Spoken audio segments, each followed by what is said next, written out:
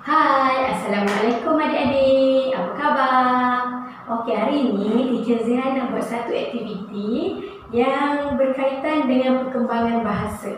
Okey, baiklah aktiviti ini sebenarnya boleh membantu adik-adik untuk menambahkan uh, kosa kata ataupun perkataan yang boleh kita guna dan seterusnya uh, dia juga boleh membantu untuk mengembangkan ayat apabila kita meminta, bertanya soalan ataupun bercerita. Okey? Okey, baiklah. Bahan-bahan yang kita perlukan mudah aja.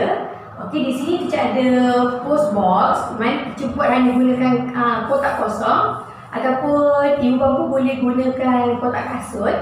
Okey, kemudian buatkan lubang di sini. Uh, lubang supaya okey, kita boleh masukkan kad ataupun uh, flash card ke dalam lubang sini. Okey, di dalam kotak ini. Alright. Okey, di sini kita ada perkataan. Ha, okey, perkataan beserta dengan gambar ataupun kita boleh gunakan flashcard uh, gambar pun tak apa kalau di rumah ada gambar begini. Okey, tak kisah gambar apa-apa. Alright. Okey, so, jadi kita akan tunjukkan contoh ataupun cara untuk menjalankan aktiviti. Okey adik-adik, okey teacher akan tunjukkan cara untuk jalankan aktiviti ini. Okey, yang pertama, ibu bapa boleh menyebutkan perkataan yang berada di dalam bulatan. Kemudian, adik-adik perlu mencari dan menyebut kembali perkataan yang disebut dan boleh memasukkan ke dalam postbox kita. Okey, yang pertama, saya tunjuk cara dia. Okey. Sotong.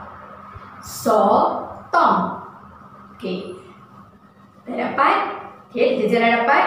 Okey, Teacher akan sebut sotong. Sotong. Okey. Sebut sekali lagi. Sotong. Boleh masukkan ke dalam postboard kita. Okey. Okey, kita cuba lagi satu.